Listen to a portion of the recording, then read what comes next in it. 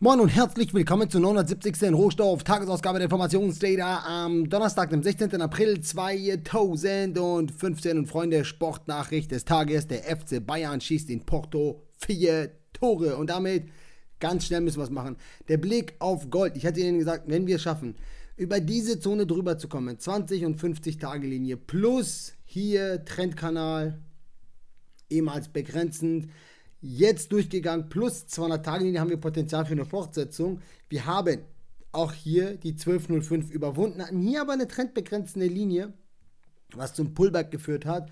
Und jetzt finden wir Unterstützung hier im Bereich des Dachs des Trendkanals, machen das höhere hoch. Wir gehen eine bullische Position ein mit dem Wissen, mit dem Wissen, dass wir hier nach wie vor in dieser Seitwärtsphase sind. Allerdings haben die Bullen angefangen, Stärke zu zeigen, haben diesen Trendkanal bullisch aufgelöst und deswegen besteht auch Potenzial in Richtung 1230 zu gehen.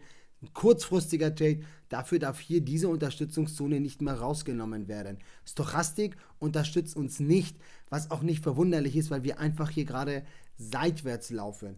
Man muss sich bitte darüber im Klaren sein, das Potenzial kurzfristig, wenn wir hier die wahrscheinliche Variante machen, ist begrenzt mit dem Wissen, dass wir übergeordnet, habe ich heute Vormittag, schauen Sie sich das gerne an, mit der Kreuzunterstützung beim Euro über den Monatschart gezeigt, mit dem Wissen, dass eine Kreuzunterstützung beim Euro gegenüber dem Dollar ist und dass das hier Potenzial hat.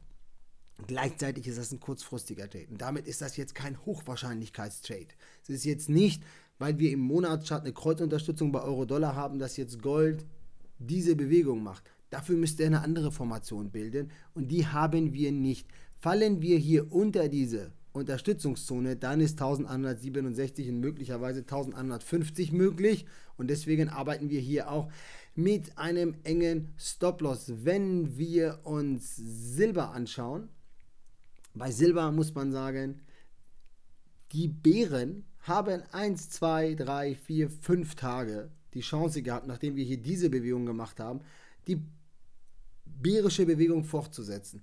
Wenn die das nicht machen, schauen Sie sich das an, wir hatten hier schon angefangen, die KD-Linie umeinander zu umschlingen, dann kann es sein, dass der Markt sich dann doch wieder dafür entscheidet, hatte ich Ihnen gestern gesagt, dass hier viel Volumen ist, eine dynamische Bewegung ist und dass wir hier Potenzial haben für eine bullische Bewegung. Dann aber in die gleitenden Durchschnitte rein, in die trendbegrenzende Linie rein und auch über die Stunde habe ich Ihnen gesagt, die 200-Stunden-Linie. Das würde mich wiederum interessieren, wenn der Markt hier durchgeht durch die 1675. Dann hätten wir größeres Potenzial in Richtung 1750. Das wäre die bullische Variante. Fällt die 16-Dollar-Marke 1550 und möglicherweise dann in Richtung 15 Dollar, wenn die 16 Dollar fällt. Kurze Ausgabe. Ich hoffe, dass es trotzdem für Sie hilfreich gewesen ist. Es ist völlig egal, wie kurz eine Ausgabe ist. Die Ausführungen zum Stop-Loss bleiben immer lang. Leute, Denkt dran, es ist immer nur ein Trade. Es ist immer nur ein Trade. Wenn euch irgendein Trade total emotionalisiert und euch total fertig macht, macht den zu. Es ist nur ein Trade. Kein Trade ist es wert, dass wir extrem viel Geld riskieren und verlieren wegen einer einzigen Position.